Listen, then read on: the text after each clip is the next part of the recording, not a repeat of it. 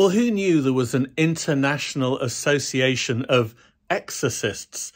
I certainly didn't until the movie The Pope's Exorcist was released recently, starring Russell Crowe. He plays a character based on the real life chief exorcist of the Vatican, Don Amorth, who held that position for 30 years until he died in 2016. Amorth also set up the aforementioned Association of Demon Expellers.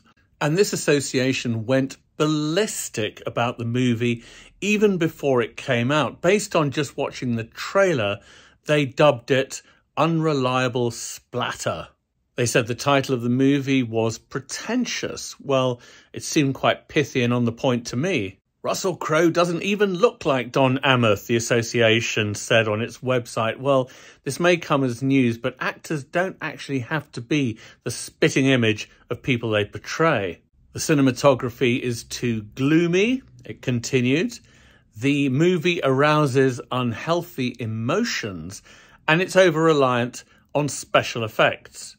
Now, these really are the silliest of criticisms. It ignores 2,000 years of religious art that was gloomy, that aroused unhealthy emotions, and that also used the most lurid iconography, especially when it came to depicting the devil. Church sponsored artists went to town depicting the Prince of Darkness, and the Catholic Church had no complaints in the Middle Ages. But now that we're dealing with moving images as opposed to still images, the church goes mad.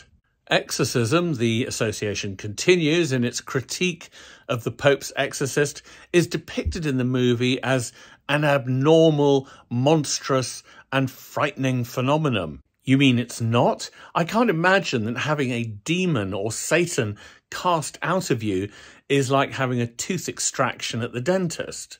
Seriously, the Vatican needs to take a chill pill. Let's just take a deep breath here and a step back and remember we're talking about exorcism. That is expelling a demon from a possessed person. That's not a normal state of affairs or something run of the mill. In recent decades, evangelicals and other non Catholic Christian sects have made the running in casting out of demons and faith healing and so on. And rather belatedly, the Vatican has realized that actually it has centuries long experience in this area. And so it's revived interest internally in exorcism. But when Hollywood dares to visualize exorcism, the Vatican has a hissy fit. I remember as a kid over 40 years ago being in a Catholic church when The Omen, the 1976 version, had just come out, and the Catholic priest at the pulpit exhorted the congregation to go and see it. He said, This will show you what Satan is really like. That priest, frankly, had a better idea of how to handle Hollywood than the Vatican today, which is more interested in getting its clerical knickers in a twist over something that could work in its favour we increasingly live in a secular society.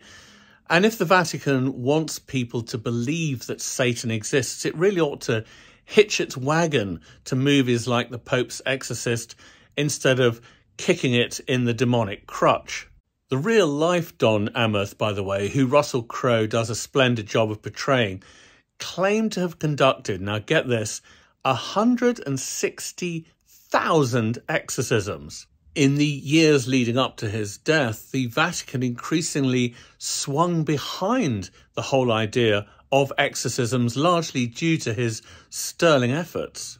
In the year 2000, Pope John Paul II conducted a rite of exorcism himself on a 19 year old Italian girl and then allowed that centuries old rite of exorcism to be updated the first time it had been updated for many, many years. It had been collecting dust and going unused really for centuries. Though the Vatican would hate to admit it, I think it's actually Hollywood that repopularized the whole idea of exorcism, uh, especially, of course, The Exorcist, made in 1973, which was probably the most Catholic friendly horror movie ever made.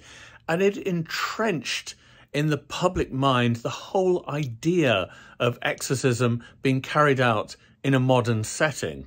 The internet, of course, has popularized exorcism even more. Strange, ironic if you want, that new technology should revive ancient superstition, but nothing really should surprise us anymore.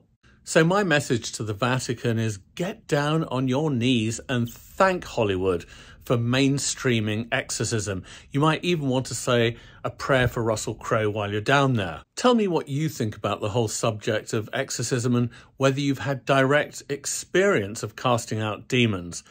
Until next time, thank you and goodbye.